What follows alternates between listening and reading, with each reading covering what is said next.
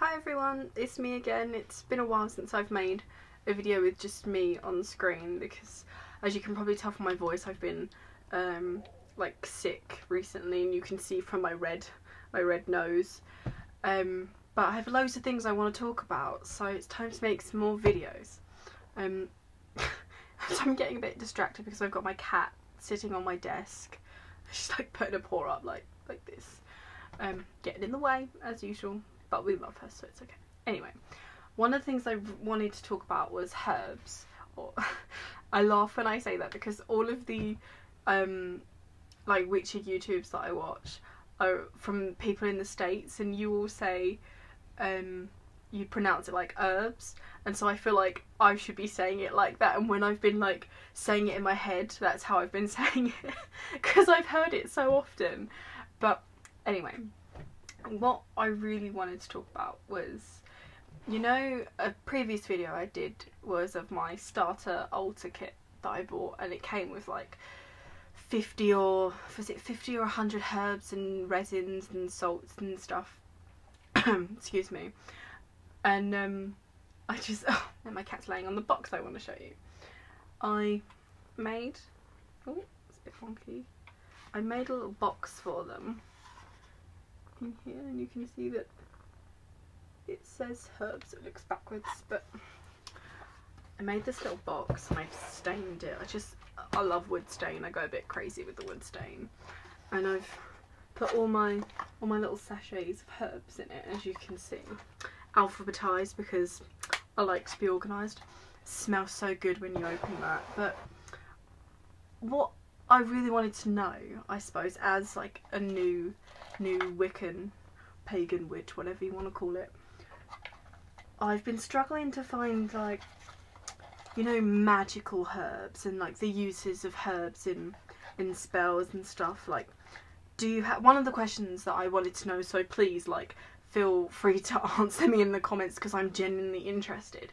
Is if you have to buy like, you know, just obviously some of them are really weird, like buckthorn bark. I don't think you could get that in your local supermarket, but like stuff like rosemary and thyme, um, is it acceptable just to go down to your supermarket and just buy like a ton of it? Like here, like I've got some dill in a bottle from good old Tesco's, um, and oh shit, and cloves and stuff like that. Do you just go and buy that from the supermarket, or do you get that from like a specialty pagan store to use? Because I feel like I just it's just easier, and I just want to get it from there. But it, does that take away its like magical witchy properties, or is that more to do with like your intention?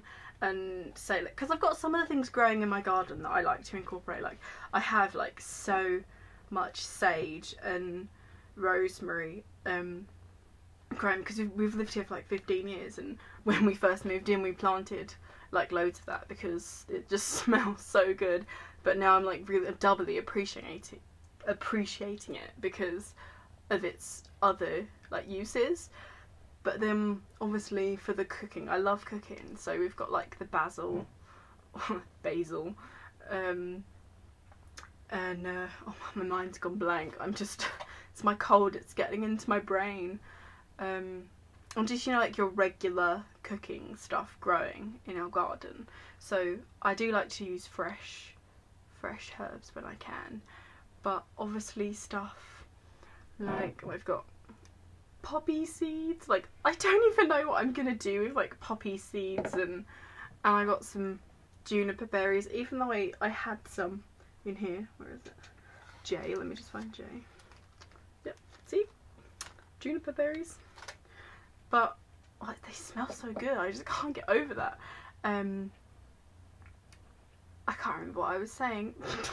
I always feel like my videos have to be so like in sync. I feel like I should be making a, a perfect movie and there be no like edits and cuts. But now I'm just like, ah, fuck it. Like, sorry. I know some people don't like swearing, but I just literally swear my head off. And I've been trying not to do that in these videos, but now I'm just going off on a rant. and I, I, feel like the more I'm the more videos I'm doing, the more comfortable I'm becoming and I I feel like I was really oh, my screen just went dark. Um I feel like I was really like stiff and just really like oh I have to be proper in a video if all these people are gonna see it and now I'm like I just don't care. um, so anyway, back to talking about herbs and spices and seeds. I always call them herbs, but there's so much more than like with the spices and seeds and flowers and stuff. So what what I want to know is where do you get your magical herbs from? Do you get them from the supermarket, a special pagan site, or do you grow them yourselves, or what do you do? I'd love. I'm fascinated. I'd love to know. So please, like, let me know in the comments. Um, there was more I wanted to say, but my mind's going blank. Oh, that was it. I I started a Instagram for. I'm I'm addicted to Instagram anyway. I already have two accounts, like a personal one that I've used for as long as I've had Instagram, which is years, and mostly consists of food, my pictures from my travels, my many travels, and my cat and my dog. You know, the usual. But then I made a, a bookstagram because I'm obsessed with books and writing and stuff. So it was like literally all about books. I'm not sure if many people would care about that on here. Um, but then I just made a new one. I feel like it, I just love photography. I studied photography for a while, so I just I love being able to express stuff through that.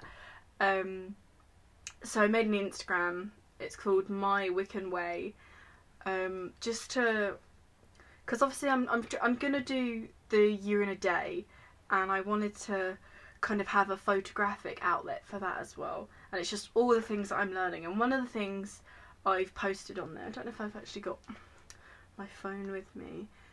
Um, it's about just all the different thoughts that I've had. And one of the things I was thinking about yesterday is I always have a lot of flowers in my house, as you can see behind me. I've got these. I thought because obviously Mabon is like or Mabon, however you say want to say it, is tomorrow. Gosh, um, my mind's all over the place. Um, I thought they were really like nice autumn color colors, fall colors, whatever you want to say.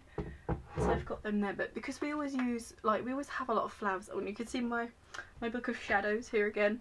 Um, we always have a lot of fresh cut flowers in our house and I feel like just we we have them just because they're pretty and they smell nice and just all those things and I feel like I should be like appreciating them more and using them more so oh, I want to incorporate them into like my craft and my work and I've just really been thinking about that a lot lately and we had these beautiful sunflowers so this is literally what I've been oh massive massive glare. I don't know if you can see that. You can just see like the reflection.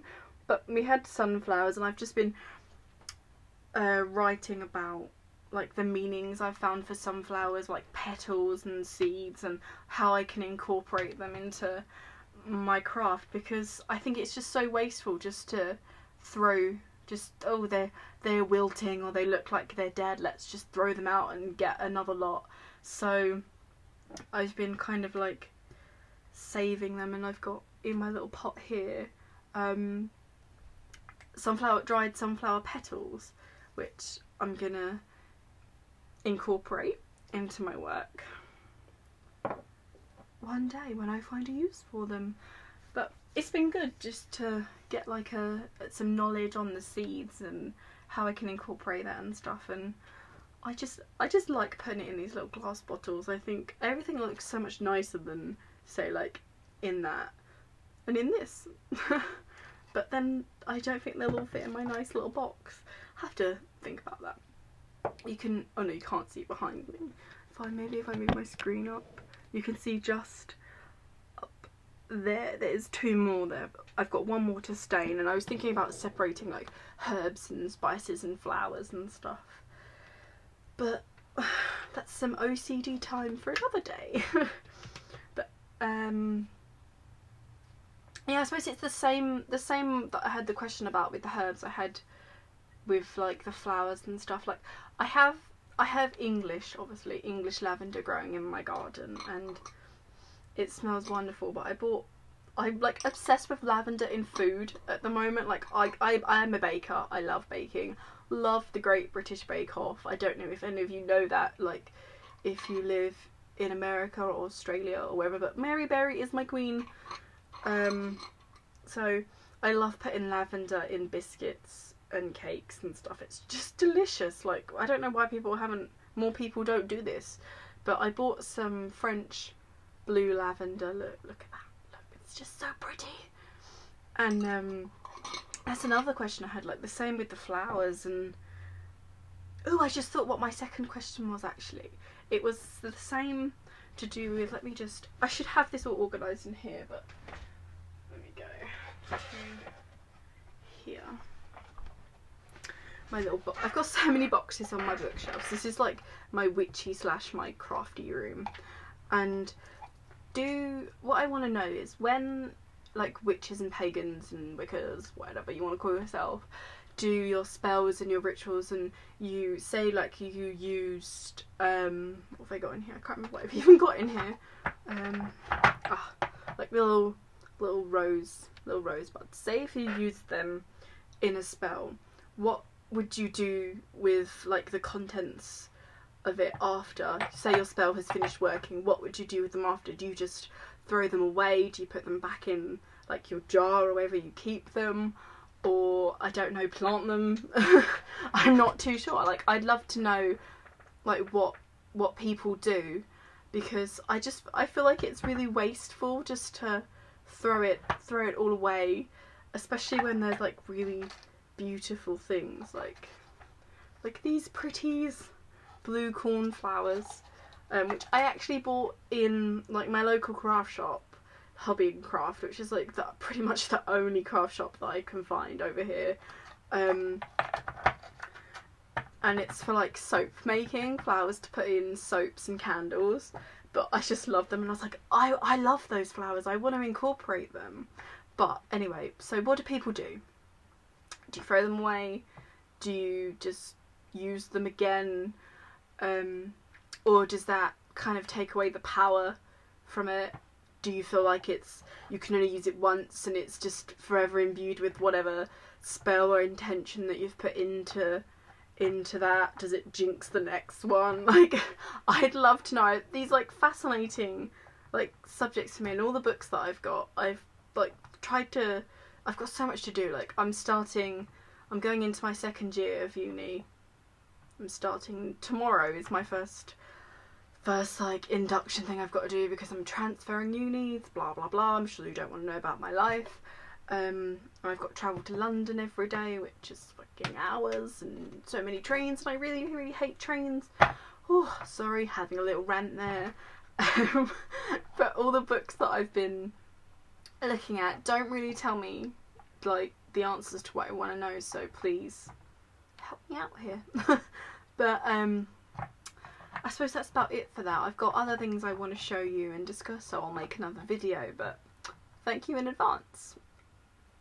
And I'll uh, catch you in the next video